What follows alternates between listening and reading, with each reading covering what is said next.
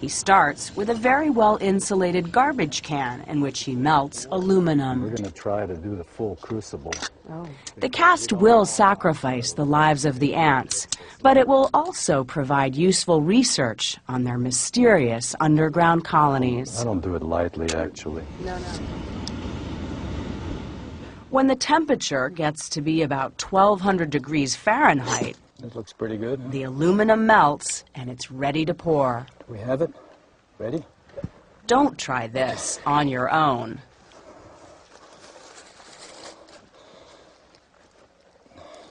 Wow. And so that's just going deep into the earth's. Yeah. Several feet it's- down. It's, really very good so far. After only a few minutes, the metal hardens and it's time to dig it out. I think this is going to be good. Yeah, there it is. With a lot of hard digging, the little chambers and tunnels of the colony are unearthed. You can see that where there's a lot of traffic that is near the surface.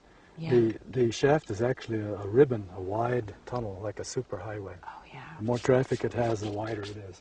And down below are the storage rooms. They store seeds. In fact, no, the, this, here, there's some seeds. Mm-hmm.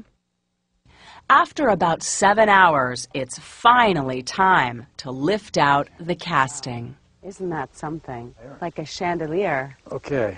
In fact, today's cast is a winner. Now, this is the best metal cast I've ever made.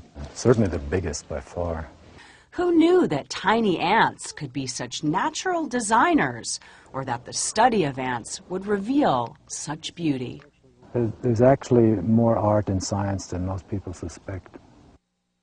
The casts also reveal just how very different ant species are from one another. Can I hold it? Yeah, sure. You could use this in a barroom fight. Oh, wow. It's, it's our, the biggest ant. You can see some of Walter Tschinkel's castings in museums around the country. Or better yet, find real ant colonies all around you. Just look down at your feet.